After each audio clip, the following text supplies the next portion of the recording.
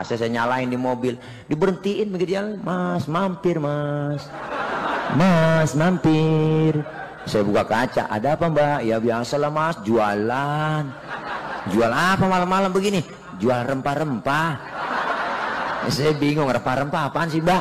Ya kalau merem dikasih upah, begitu. Oh, taunya jablay bang. Langsung aja peci haji saya pakai kaget dia. Waduh pak haji ya.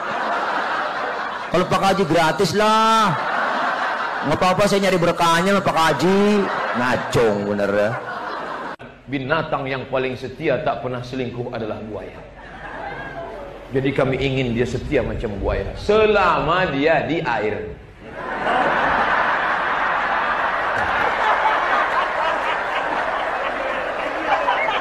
Asal sudah dia naik ke darat.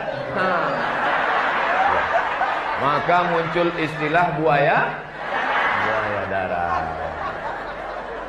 Maka jangan sampai buaya ini naik ke darat.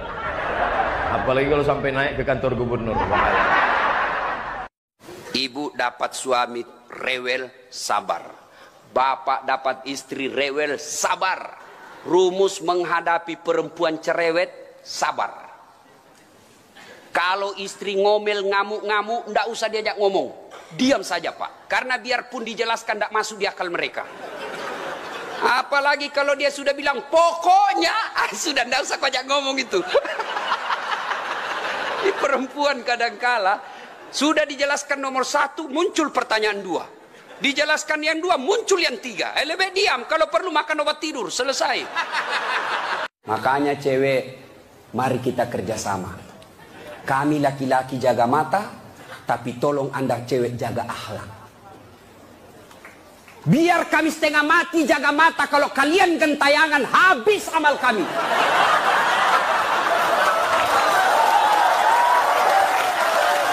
Ya. Saya kalau mau pergi mengajar di kampus, saya ngaji dulu beberapa ayat. Sholat duha dulu dua rakaat.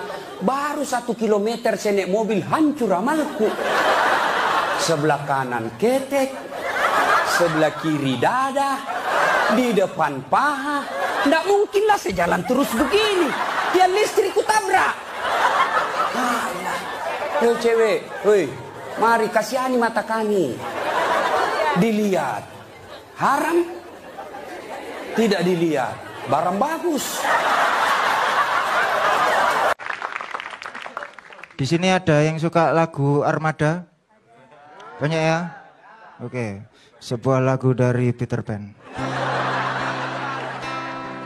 Yang terdalam.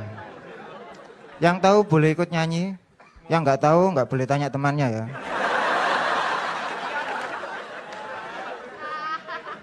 Makanya kalau di rumah itu belajar. Lepas semua yang ku inginkan akan ku ulangi